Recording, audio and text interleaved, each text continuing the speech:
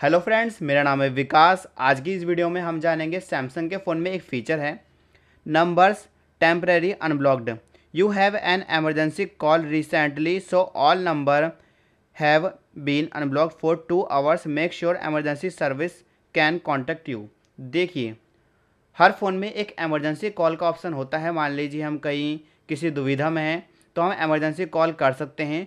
उस दौरान क्या होता है कि हमारे फ़ोन में ब्लॉक करी हुई सारी कॉल्स, यानी सारे नंबर अनब्लॉक हो जाते हैं दो घंटे के लिए।